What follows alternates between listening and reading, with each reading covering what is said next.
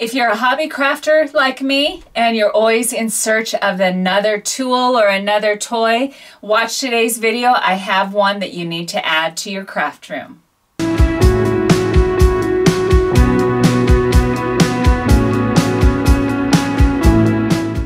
I have just totally enjoyed using a laser engraver. I've made um, dozens, dozens and dozens of projects, use them for hundreds of hours. And so we're really fortunate that Aufero sent us their 10 watt laser. I believe it's called the Aufero 2, um, the 10 watt laser. So we are, we're privileged to test it out. So today I'm going to show you what we think of the laser, some tips and tricks on how to use it.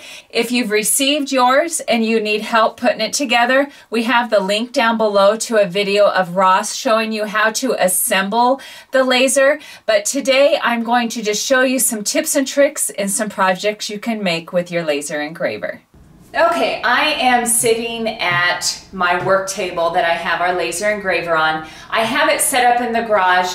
I would highly recommend putting it in a place where there's ventilation. Tip number two, I would suggest making a work surface and drawing lines on the surface because you're going to constantly be lining up your product um, or your project um, and you're going to want to make sure your um, machine stays square. So this is a uh, piece of, uh, I think it's MDF, if I'm correct on that, and I've drawn a grid on it so that I can line up my project that way. You have a couple choices with the machine um, that I know of. I'm sure there's more, but there's uh, two piece, two kinds of software. One is laser Gerbil, Gerbil, I don't know how you pronounce it, I call it Gerbil. So Laser Gerbil, it's a free download um, and I have the link down below for that. The other one is called Lightburn and it's very economical. I have not tried that the um, laser uh, gerbil gerbil works really well with the machine. So I would suggest um, searching YouTube. I've found a couple good uh, videos on the software because the software really does make a, a, difference on not so much the software itself but knowing how to operate it telling the machine to do what you want it to do. So I'm going to first show you how to cut out an item so some of the tools you're going to want to have handy, a ruler that has um, millimeters on the side and a metal one is really nice so that it's it's nice and sturdy. I always have some masking tape and I'll show you um, why because you can, if you're doing multiple, like just yesterday I, I had to do 50 little hearts and write words on, on these little one and a half inch hearts. I taped onto my work surface exactly where I set the heart each time and then I would tell the machine to go. So having some tape, this is a higher watt machine than I'm used to. Um, definitely need to have uh, safety glasses because you do not want to look at the laser. So have some glasses. This does come with the machine. Aufero has that included. Um, but I'm first going to show you how to cut out an item. This is just a little piece of hobby uh, wood that I, I think I actually got at Hobby Lobby. And it looks like it's about three millimeters thick. So we're gonna cut out of that. When you do cut out and not uh, just engrave, having a piece of tin underneath you're cutting out because as you can see it goes right through it and it, it um, instead of cutting your work table the, the tin is stopping it. So have a piece of tin handy. A couple of things uh, that are unique to the machine.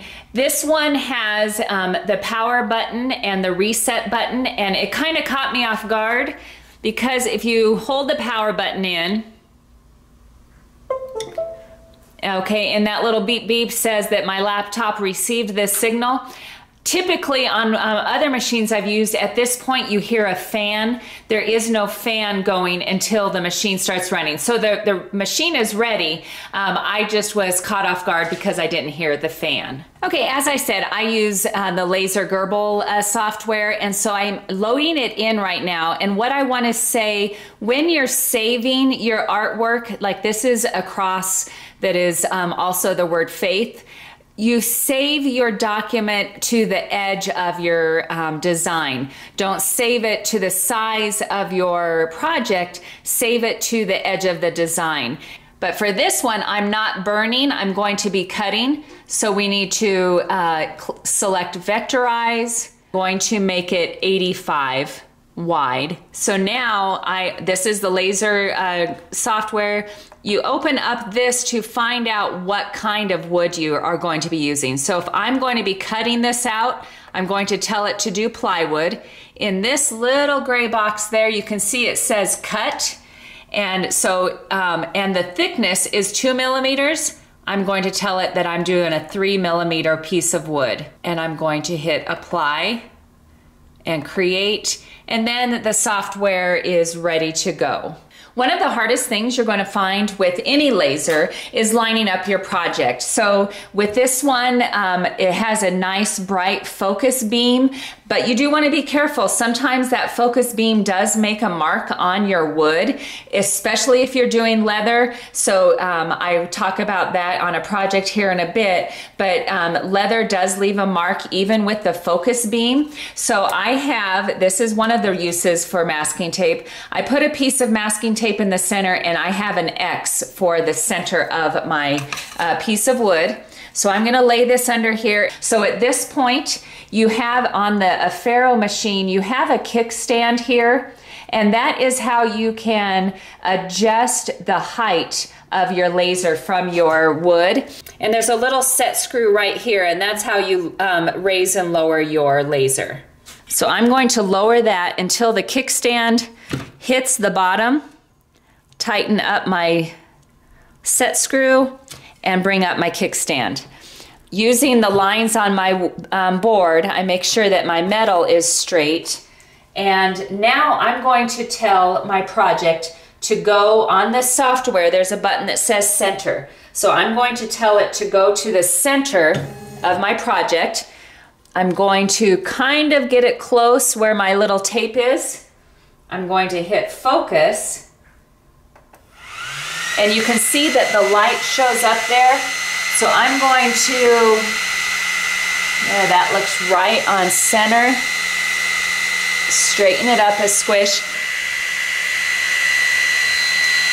And now I want to make sure that it is straight. So I'm going to hit frame and it'll, um, it'll go around the edge of my project. And what I do is I eyeball to make sure that the beam is straight with my wood.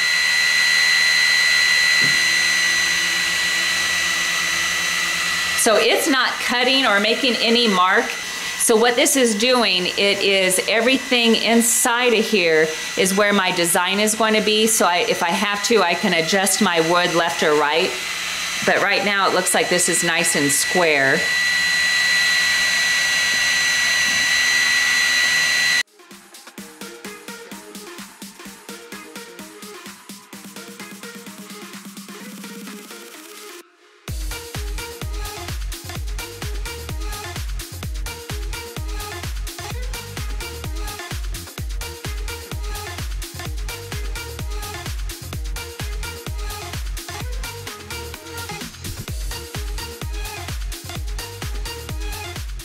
The problem you have at this point is you really can't tell if this has cut all the way through and we cannot move our project at all. So looking at this, one way I can tell is if it has dropped down some, which it has. So that tells me that we're probably dropped all the way through because, yeah, I, I can feel it. I am just touching it with a, a screwdriver if it wasn't, um, if there wasn't any give and drop down, I would tell the machine to do another pass. But we are together going to see how we did on this. Oh, it went all the way through. Beautiful. So the, the uh, engraving, the cutting part on this machine is absolutely fantastic. You can see in the, the background of my uh, camera shot here, I have bricks on my work surface. I um, have engraved on logs, and here's a video of doing that. Um, and those are tall. And so you, um, in order to get this to go on a, a taller, maybe you have a box or something, if you have equal height items to set under each leg and then you can raise and lower your laser but having um, the bricks has been super handy to be put able to put those on each corner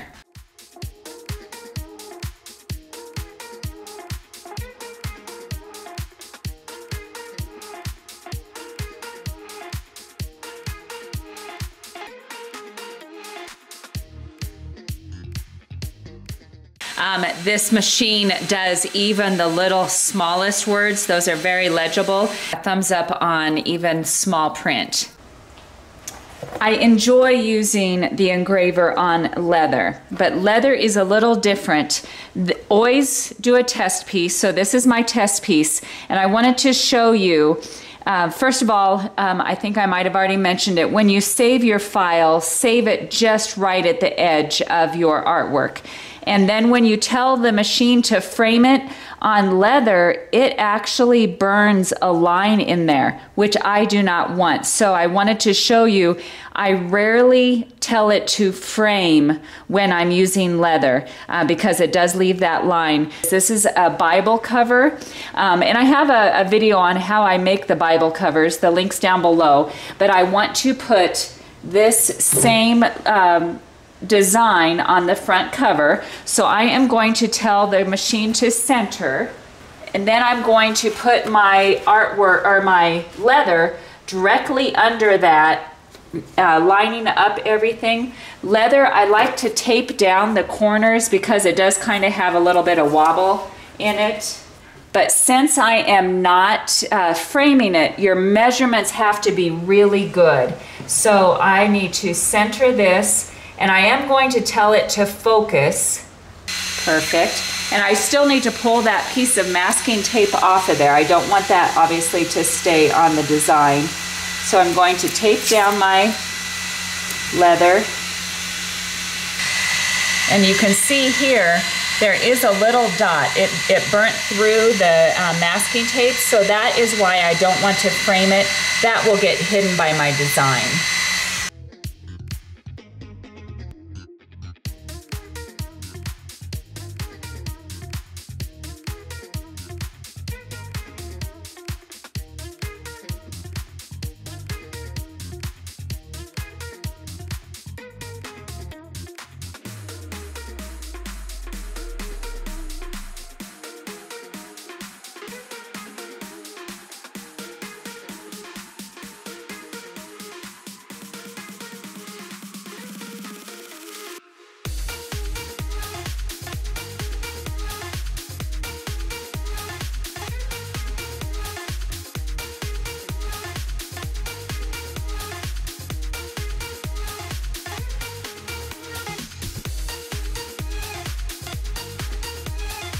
Okay, that one's all done. Finish time, five minutes and 30 seconds.